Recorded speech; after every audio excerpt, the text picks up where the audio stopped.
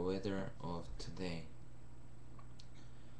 Today, the typhoon is coming to Tongyang.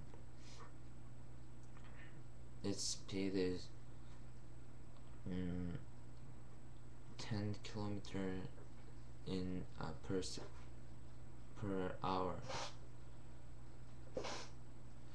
and it's not very big, it's from Japan.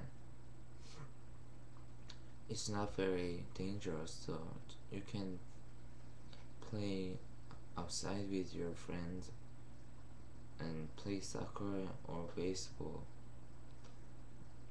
You will not be in danger.